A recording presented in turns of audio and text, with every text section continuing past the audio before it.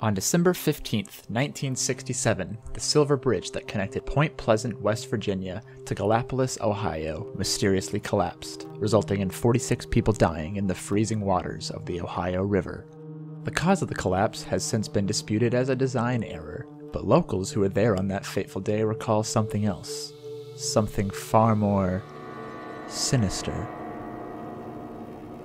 Eyewitnesses reported seeing a humanoid figure almost seven feet tall, with a pair of large black wings spanning almost 15 feet from point to point, covered in black feathers, with massive, glowing red eyes.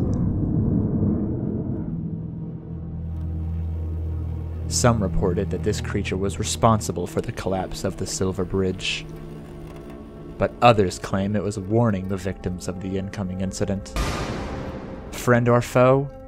We may never know. While no physical evidence of the creature has been found, true believers have given it the name Mothman.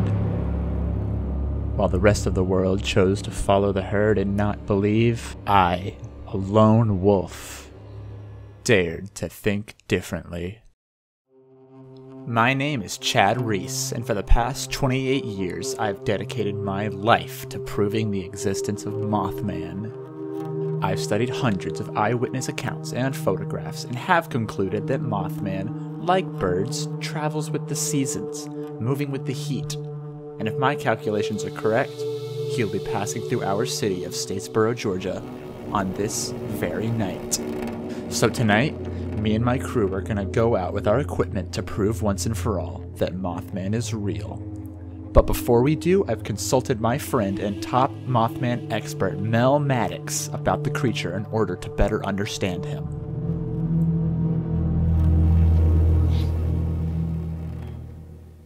Hi, Mel. Thanks for coming on our program and talking with us. Hey, Chad. No problem. I'm happy to be here and to share my knowledge. As am I, Mel. So, I guess my first question would be who, or I suppose, what is Mothman? Mm-hmm. Well, hey, that's a great question. So, Mothman, as far as we know, is theorized to have been born in the 1940s as a relatively normal man. But due to the results of some secret government experiments that were theorized to have been conducted in the 1960s, he was transformed into the strong, handsome, beautiful, and sexy Mothman that we know today. Very interesting, Mel. Thank you. And do you have any advice for my crew and I going out on our hunt for Mothman tonight? Uh, Mel? Uh, Mel, you there? Well, it seems like our connection with Mel may have been interrupted, but we thank him for coming on our program and sharing his knowledge with us. You're welcome.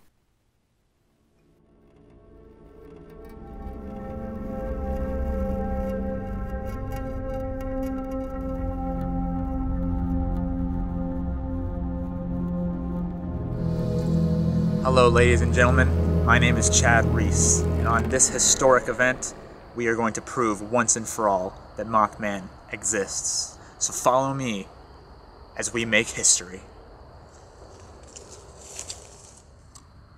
The first thing I'd like to do is a mating call to try and attract him to the area and let him know that it is safe for him to show himself.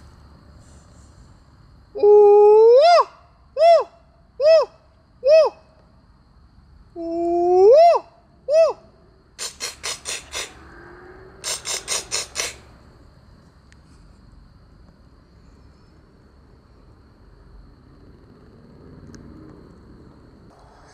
we've been camping out here for a couple of hours now. No signs yet, but I've heard a couple of suspicious sounds.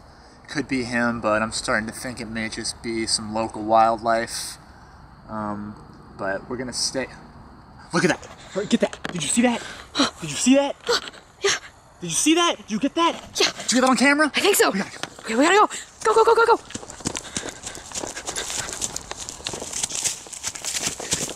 So we think we saw could have possibly been the Mothman. But we're gonna try and stay quiet and stay calm as to not scare it away. I'm gonna go investigate over here. And you stay right here, okay?